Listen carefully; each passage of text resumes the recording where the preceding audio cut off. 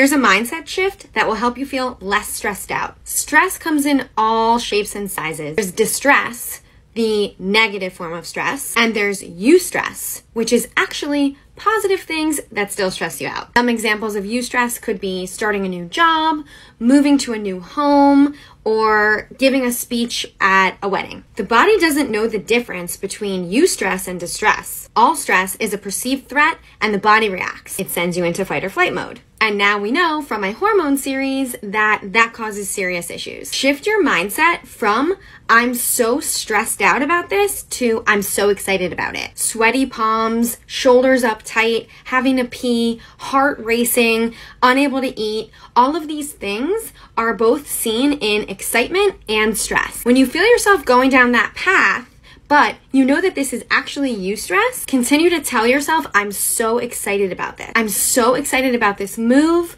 I'm so excited about this speech I have to give, and I just want to do such a good job because I love this person so much. Your brain is going to search for evidence to prove yourself right. Stress is still stress, but understanding it will help you manage it.